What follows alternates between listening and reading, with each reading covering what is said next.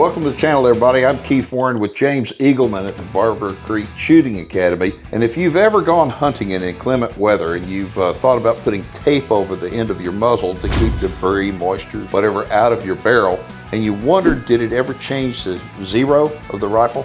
We're going to address that right now. Yeah, so basically the way it works is when you cover the barrel, this is a, in this case, a 6.5 Creedmoor, it has a .264 diameter hole straight through the barrel and where your bullet sits to where the muzzle brake or the tape is at is a tube that's completely full of air.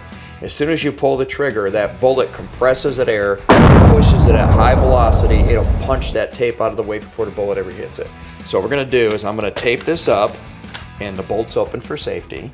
There's no ammo in it. I'm gonna take this piece of tape and I'm just gonna cover this. Same thing if you had a muzzle brake, you'll just put one strand over it, nice and tight. I'm then gonna go ahead and we're gonna shoot that black buck at 504 yards. I've already pre-dialed, so let's shoot it with tape on it. Level looks good. I'm gonna give it about a minute left. Win, spotter up. Ready. All right, here we go. Perfect shot. Okay.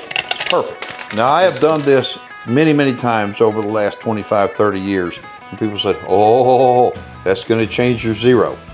Why don't you shoot again? Yep, then we're gonna shoot it without tape on the barrel. As a matter of fact, here we go. Let me get this leftover. I'm ready. Perfect. Perfect. So did it change zero? The None answer is whatsoever. I actually hit the same bullet hole at 500 yards. yeah. So I hope you learned something from that tip. We've got tons of shooting tips here on our channel, so make sure and check them out. And while you're at it, subscribe.